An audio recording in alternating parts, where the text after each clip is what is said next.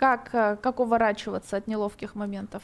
Э, Правило номер один. Правило номер один. Лучшая защита нападения. Сперва помести самого объекта в неловкое положение. Объекта в неловкое положение. Принято. Хорошо. Правило номер да, один. можешь сказать что-нибудь типа «Видела тебя голым, ядрить, Ядрить. короткий». А, да, вот так и сказать, такое. да? Ну, конечно, конечно, это будет супер неловко. О, Видела вас голым, ядрить короткий. Да вообще обидно было.